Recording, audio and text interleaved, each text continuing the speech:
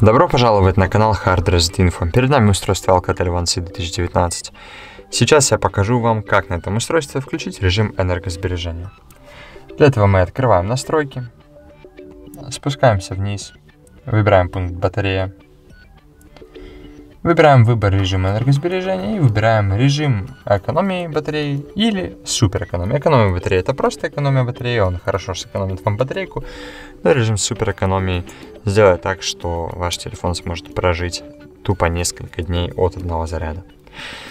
Чтобы выйти из супер экономии, в правом верхнем углу нажимаем на кнопочку выход нажимаем ОК. Ну и по сути все.